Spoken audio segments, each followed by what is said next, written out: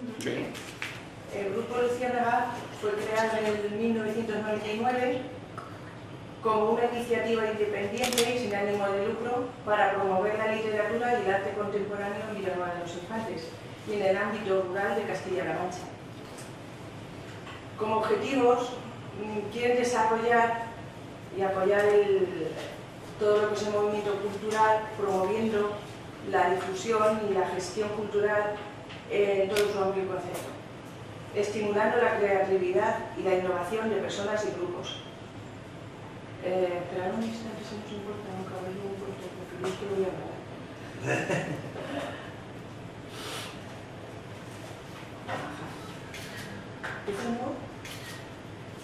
Vamos a ver. El grupo de Ciérnaga fue creado en 1999 como una iniciativa independiente y sin ánimo de lucro, para promover la literatura y el arte contemporáneo en Villanueva de los Infantes y en el ámbito rural de Castilla-La Mancha. Como objetivos se propone apoyar el desarrollo cultural, promoviendo la difusión y la gestión cultural en su amplio concepto, estimulando la creatividad y la innovación de personas y grupos, estableciendo vínculos de cooperación con las personas y sus instituciones y con el movimiento cultural actual, participando activamente en la vida cultural de Villanueva de los Infantes y su comarca y, a ser posible, la región. Eh, lo, que, lo que hace el grupo Luciana, pues a lo largo del año es participar en varios, en diferentes proyectos socioculturales en Villanueva de los Infantes, en el entorno, en 1999 hubo dos miembros de la actual asociación que iniciaron unas eh, jornadas culturales llamadas Jornadas Literarias, Nuevos Cauces de la Literatura y el Arte, y de ahí se desarrolló lo que hoy estos objetivos de este proyecto. Eh, esta jornada pues, se desarrolla anualmente durante la última quincena de julio en el patio de la Lóndiga actual Casa de Cultura. El programa, que ahora nos va Paco y Luis, eh, ofrece a toda la comunidad local y es sensible a nivel regional y nacional una propuesta equilibrada en diferentes manifestaciones artísticas y socioculturales. Ofrecen un foro de debate y de reflexión sobre la literatura y el arte actual, donde poder compartir y contrastar opiniones con grandes creadores de los ámbitos mencionados. Y un poco más, en un foro que hubo abierto en la Biblioteca Municipal, que colaboraron varios eh, años en este evento con el grupo Luciérnaga, al mismo tiempo que adquiere catálogos y obras editadas de los escritores, poetas, ensayistas, periodistas, artistas, etcétera, para que los ciudadanos puedan conocer las obras publicadas de los ponentes, procurando así hacer más rico el encuentro y que los debates adquieran una mayor reflexión. Nuestra programación se difunde anualmente, además de los carteles culturales y tarjetas con la programación, se difunde también en los medios de comunicación tanto a nivel de radio, prensa local, regional y nacional, por correo electrónico, con información completa de los programas. Y a nivel de patrocinadores, podemos, eh, a nivel de, patrocinadores, las jornadas han sido subvencionadas, por supuesto, por la Junta, eh, la Educación Provincial, Turinfa, que Turinfa es una asociación de empresarios turísticos artesanos de Villanueva de los Infantes, eh, Castilla, eh, Caja Castilla-La Mancha y por supuesto el Ayuntamiento de Villanueva de los Infantes. Y aquí ya, si queréis, porque podéis vosotros ir desarrollando el programa de esta... Simplemente abundar el trayecto de la señora concejala de Cultura, del evento de Infantes, mm, la larga trayectoria y el largo compromiso cultural de la Asociación Luciérnaga desde 1999, como bien ha señalado. Eh, el origen fue lo que denominamos un triunvirato cultural de, tres personas, de María Ángeles Jiménez, que es la actual eh, directora de la Biblioteca Pública, de Joaquín Fernández de Silva, eh, un poeta de la Villa de Infantes muy comprometido con la cultura y que fue el primer presidente de la, asociación, y de Ramón Molina, que es otro agente cultural de Infantes. Eh, la asociación fue creciendo eh, y, se vio la necesidad de formar ya una asociación cultural. Son ya 17 convocatorias con las que estamos hoy presentando y, como, como digo, pues manifiesta el compromiso de una asociación independiente que lo único que persigue es el fomento de la cultura y más concretamente de la cultura de vanguardia. Por nuestra asociación, en el patio de la Lóndiga, en Infantes, han pasado muchísimas figuras, una larga nómina de, personalidades de la cultura. Eh, por citar algunos, pues el gran poeta Francisco Brines, el tristemente y recientemente desaparecido Javier Crae, eh, Juan Carlos Mestre, eh, en fin, toda una serie de, personas de, alta relevancia cultural, Fernando Arrabal, efectivamente, una, una, larga nómina, Ángel Ferrey, de, de personas eh, comprometidas con, la cultura. Y ese es nuestro objetivo.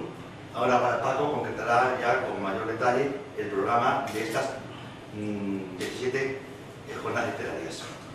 Bueno, pues yo tengo que ceñirme estrictamente al programa de, estas últimas, de las decimoséptimas jornadas culturales, eh, donde ha, siguiendo ese concepto culturalista que tiene Luciana, realmente desinteresado, porque es una asociación que me gusta recalcar, aunque lo ha dicho la concejala de Cultura de aquí del Ayuntamiento de Villanueva de Infante, sin ánimo de lucro, nos, nos nutrimos únicamente por las cuotas de los socios y las ayudas públicas, fundamentalmente, esto lo resalto, públicas, concretamente de la, en estos últimos años, del Ayuntamiento de Villanueva de los Infantes eh, y de la Diputación Provincial. Eh, paso a desarrollar la, de las jornadas. Eh, las jornadas van a costar dos, dos partes. Siempre se hace una presentación oficial, por así decirlo, al público general, que este año lo haremos, ya lo hicimos en otra ocasión, hace dos años atrás, en la llegada de la cefranal de Coza donde actuará un conjunto precisamente de, infantes, de cuyo componente es el maestro alma mater es Quique Bocinas y su grupo, eh, que se hará la presentación oficial el próximo día 18 de, de, abril, de, perdón, de julio.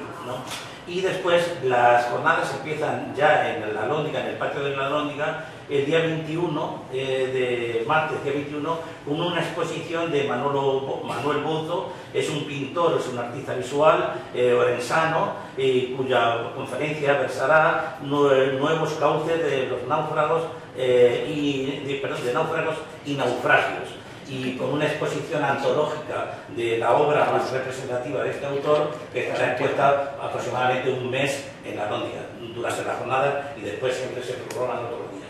Pasaremos al día 22 eh, de, julio, miércoles, eh, habrá una conferencia titulada Experiencias de la India, eh, un itinerario poético y personal por el poeta Jesús Aguado. Jesús Aguado, el currículum está aquí presente, pero no voy a hacer de, es una figura consagrada dentro de la poesía, tiene premios Hyperion, tiene una gran experiencia en la India, tiene dos antologías de poesía india y es una persona muy importante y muy profesional en este ámbito. Eh, la tercera jornada eh, será el jueves, día 23 eh, de julio, con Marcelo Luján. Marcelo Luján es un escritor, es periodista y novelista argentino, vive en Madrid, lleva 15 años en España y su especialidad es la novela negra y los cuentos. También el currículo no lo voy a desarrollar porque sería prolijo decirlo.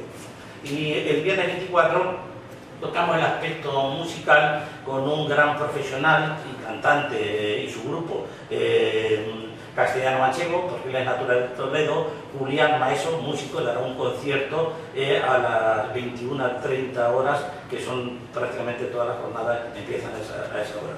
Y para finalizar, eh, después el día 25, sábado, eh, tocaremos el cine. En esta ocasión vendrá Arancha Aguirre, que es directora de cine, es madrileña, ha sido mm, codirectora con Almodóvar, con Pedro Almodóvar, eh, con Mario Camus, y muy representativa y conocida en, el ámbito cinematográfico español, incluso europeo y proyectará, se proyectará un documental suyo, Una rosa para Soler.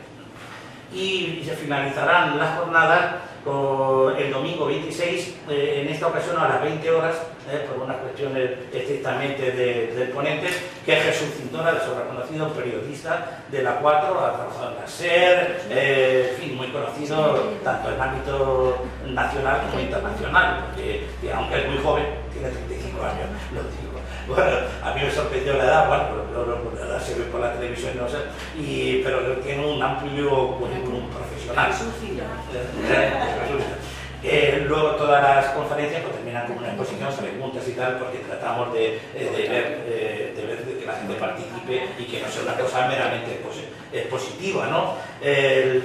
también de, de, que siempre los criterios más o menos que de la Asociación Luciérnaga, como pueden ver ustedes, ¿no? pues se trata de una, el cine, la novela, la poesía, la literatura, tanto en la poesía como en la prosa, y, y, también el cine, sin olvidar la música, es decir, las bellas artes que tan representativas porque tratamos con ese riguroso nuevos cauces de la literatura y el arte que siempre llevan como epígrafe eh, en, la portada de la, de la jornada.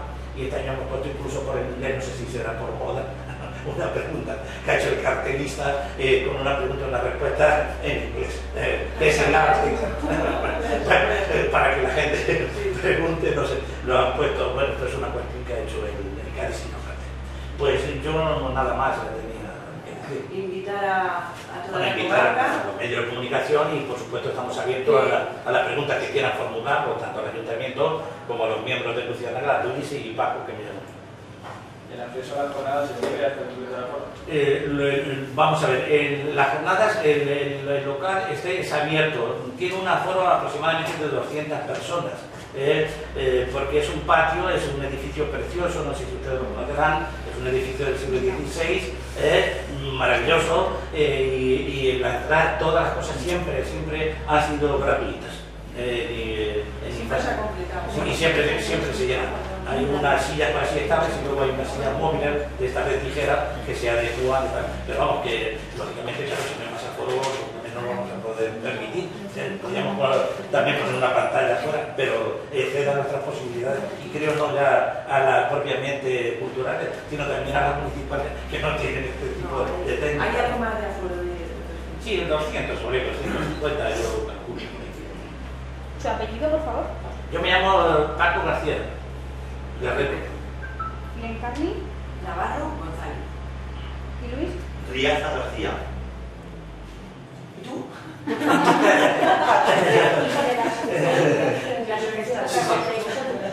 la asociación. bueno, eh, Actualmente eh, la, asociación está regida por una gestora, eh, por tanto, provisional. Paco el jefe de, presidente en interim y yo el secretario. Pero mm, es una gestora relativamente meses, meses. Estamos a la espera de convocar una asamblea y por los procedimientos legales que, que rigen los estatutos de esta asociación, pues nombrar un nuevo, una nueva directiva. Quería preguntar a la concejala de Cultura de las actividades eh, que tradicionalmente se han desarrollado en estos últimos años, jornadas musicales, eh, la fiesta del pimiento, luego creo que es en agosto, septiembre, etcétera, las jornadas folclóricas, ¿qué parte de esto se va, se va a mantener y se va a seguir apoyando desde el ayuntamiento? ¿Qué cambios se plantean en cuanto a nuevos proyectos? Por supuesto que se van a mantener, más mm, en lo que sí hay un inciso y un empeño común la nueva corporación es que todo lo que se haga se publicite gratuitamente y llegue a todo el mundo. Y, tanto en los actos que se, o subvenciones que se que deriven en otras asociaciones, todas sean abiertas a que todo, el mundo pueda participar bueno, siendo, siendo uno de los de las asociaciones que más han trabajado y, más fuerza le han dado a la literatura y a, todos los procesos que lleva, pues no se iba a dejar, vamos, se le va a mimar tanto a Luciana como a otras asociaciones. Hay varias, hay varias. Es fundamental, de todas formas, en infantes promover la cultura y, y más que tiene ya bastante, bastante camino ya hecho.